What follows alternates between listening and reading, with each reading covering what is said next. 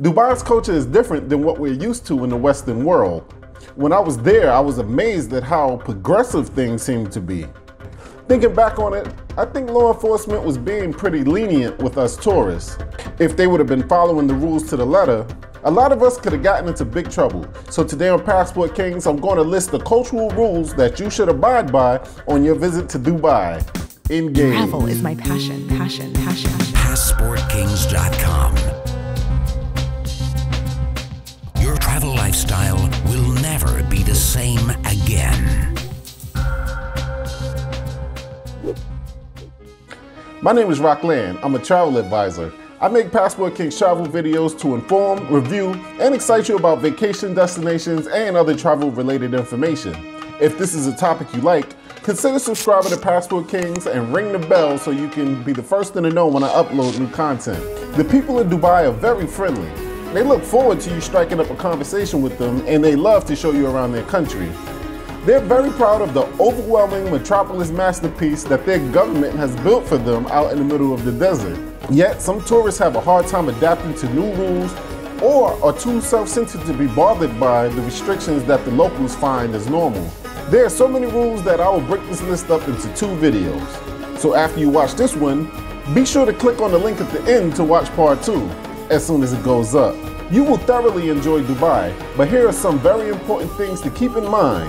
You've officially been warned. Walking around in swimwear is okay when you're at the pool and the beach, but if you're just walking down a normal street, it is considered disrespectful and could get you into a lot of trouble. Women are expected to dress modestly in public, with their arms and legs fully covered. When you visit the mall, the dress code will be announced over the loudspeakers. But when I was there, I did see some women who were obviously tourists pushing these rules to the limit. They had on super short shorts and damn near bikini tops in the hotel lobby.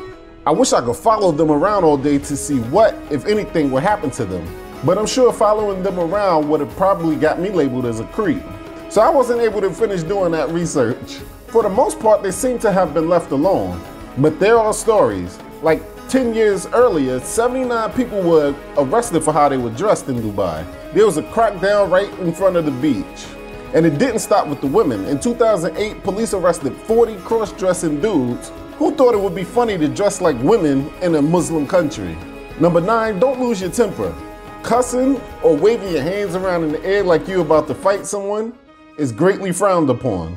Getting bumped while walking may piss you off in other cities, but here, you're just gonna have to suck it up. The good thing about Dubai is the residents are peaceful and respectful to each other and the tourists. No one is going to bump you on purpose or try to start a conflict with you.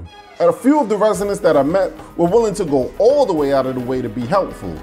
Number eight, no public displays of affection. You'll probably be okay holding hands while walking down the street with your significant other, but going further would not be taken as lightly as it would be taken here in the US. For instance, you don't want to be walking down the street holding your woman's ass or pinned up against the wall for a long, passionate kiss. I mean, many people in the US don't want to see that, but it certainly will offend the people of Dubai. Back in 2005, a UK couple received one month jail sentence for kissing in a restaurant after a local woman complained. They consider public displays of affection as inappropriate behavior. Number seven, sex without marriage is against the law. Even staying at the same hotel room as someone of the opposite sex that you aren't married to unless it's a parent or a child, could result in your arrest. By law, only married couples are allowed to have sex or share the bed. Most times, hotels won't ask you for proof of your relationship when you check in with your partner, but it's best to be careful. If the cops find out, you could get into trouble. In 2004, there was a story about a chick getting into a lot of trouble when she tried to bring some dude back to her hotel room from the bar. The cops caught wind of it and she wound up missing her flight home even though she was let out a little bit after. Now make sure you stay to the end of this video so you can pick up my free ebook on how to make money online in the travel industry. And if you haven't yet, hit the subscribe button and press the bell for notifications. Now have you ever been to Dubai? Or even Abu Dhabi? Were all the rules too restrictive for your enjoyment? In the comment section below, tell me about it. I love reading those and I will definitely respond. Number six, don't take photographs of government buildings.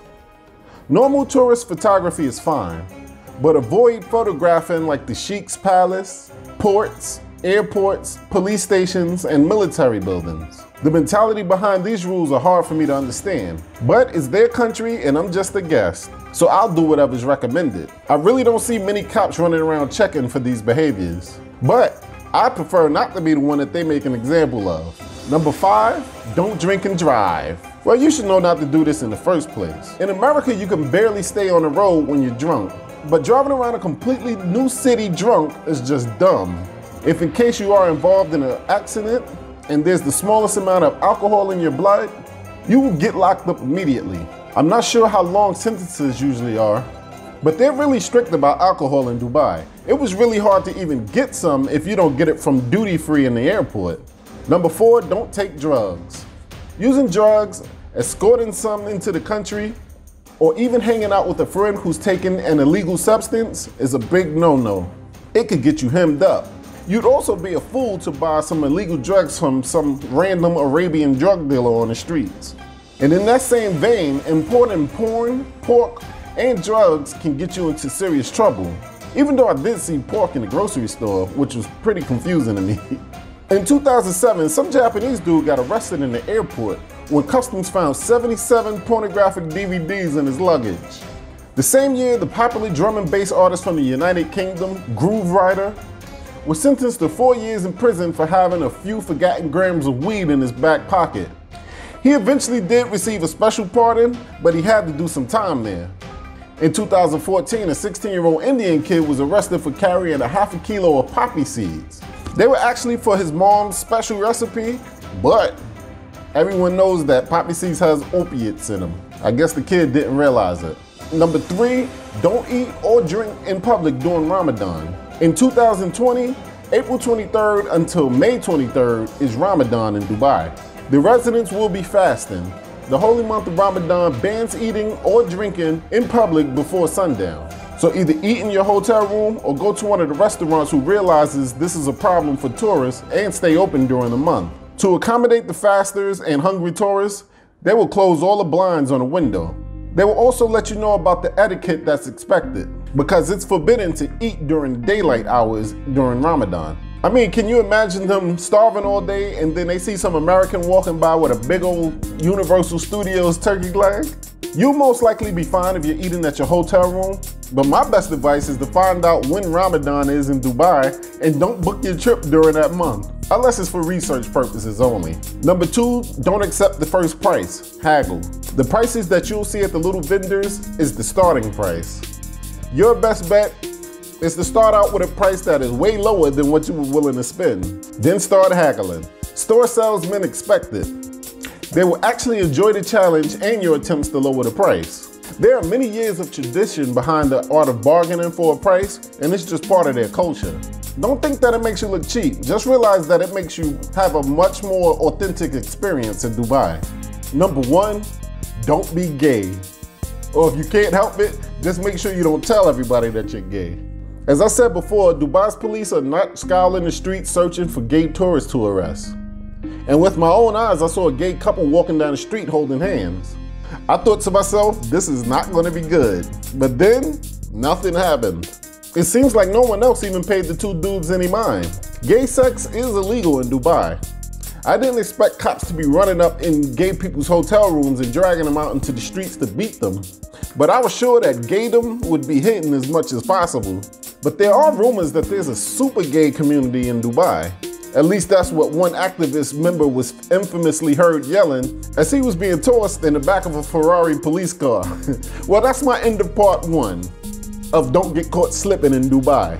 Remember, you can donate to Passport Kings by clicking the PayPal button on my homepage banner. Now, I hope these rules don't scare you off from visiting this place. I had a really good time, and you can see the video that I made about my visit to Dubai in the link above. I can't wait to go back.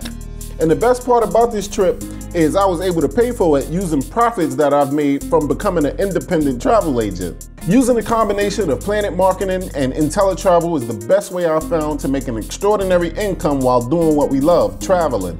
Join me and you'll be able to work in any location in the world, part-time or full-time, just using your laptop and cell phone. There is no experience necessary. All of the training is provided by wonderful people who already have had amazing results helping families financially in the travel industry. If you love to travel, trust me, this will be a no-brainer. Watch the two videos at www.passportkings.com. And if you just want my agency to help you book a trip to one of these laps of luxury, click book travel on that page.